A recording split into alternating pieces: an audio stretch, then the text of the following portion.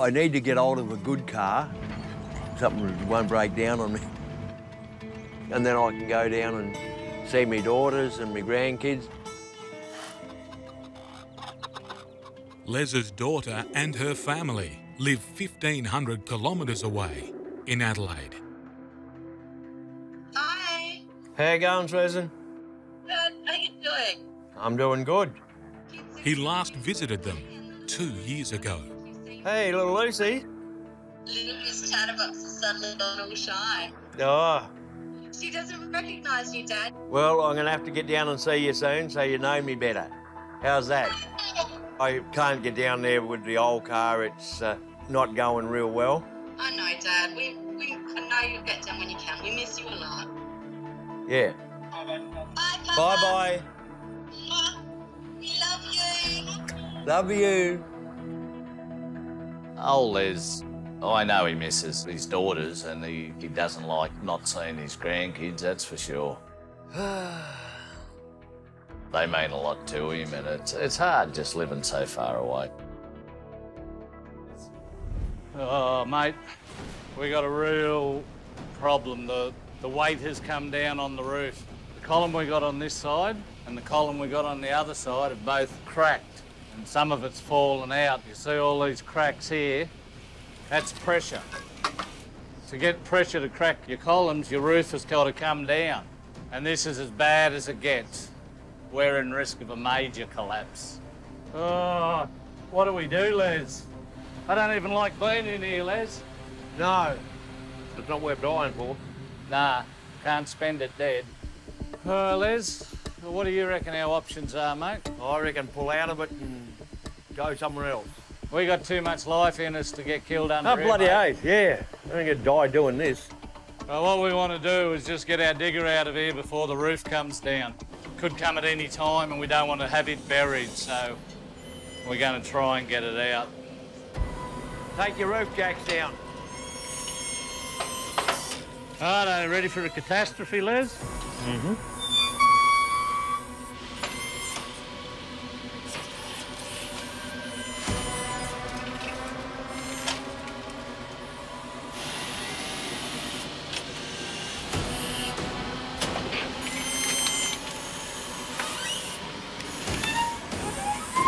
Right, well, that's got us out of danger. At least if it comes down now, this won't be buried, and neither will we. Rod and Les have walked the digger north to safer ground, still following the fault line where they're most likely to find opal. Plenty of ground under it to dig. See if we can find another spot that might pay us some money. A foot in there, there could be a hundred thousand. This one here potentially could deliver. Because anything on the fault line here produces. Les, What? I got the twitch. It's gonna happen, mate. You Yeah. watch. The opal fever tingle. When you start to get close, sometimes you get this little twitch, you know, you start twitching and you know it's not far and I've been twitching. This is black opal country. As the most valuable opal in the world, it can be worth up to $43,000 per gram.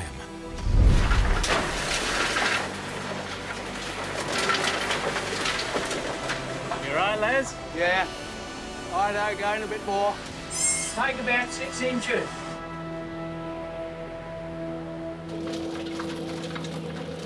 Oh, oh, oh.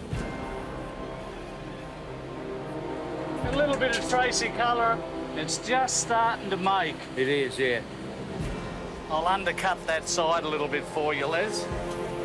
Hello. Pull out. Nice seam, Les. Oh, heckle me grandmother, Les. Look at That's that. bloody good. We got quite a nice bloody electric bar on the top, and there's still more up here. Oh, this is it, Les. Life don't get much better than digging colour out of the wall, mate. After risking a mine collapse, the Bushmen have hit pay dirt, a rich seam of blue-green crystal opal. Look at that, Les.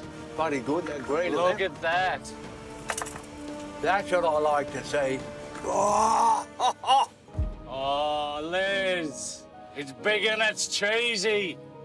Oh. oh, look at this. How good is this, mate? All colour.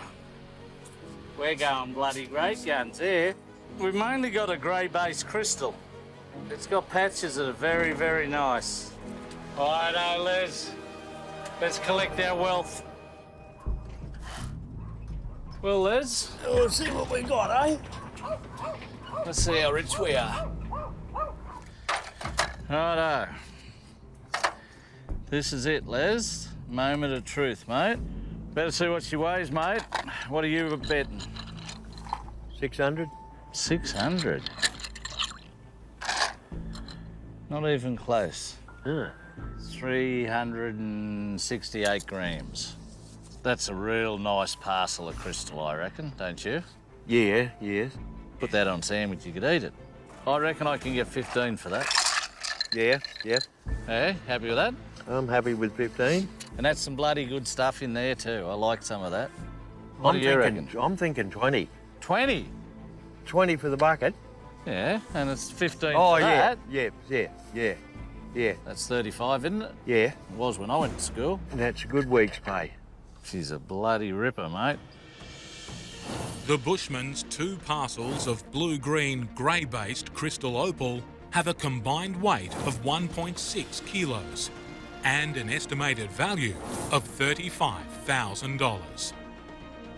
With a 50% share, that's $17,500 for the Bushman.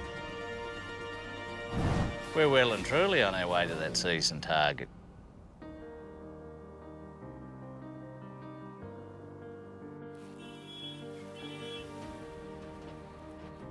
What's this? Ah, something good. Finally! Yeah. Well done, mate. Yeah, so it's a nice little wagon, mate. Wow. What a beauty. I've got my new car and I'm happy with it. It looks great. And now I can go down and see my daughters and my grandkids. That's been a priority for a fair while now. Up, up. Put in.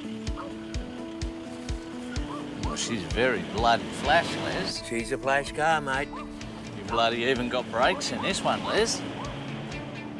Well, the dogs seem to like it, Les. Yeah, they're all happy. Can't help, I'll see him fishtail it up the road. it's just the start for us at Plough Boys.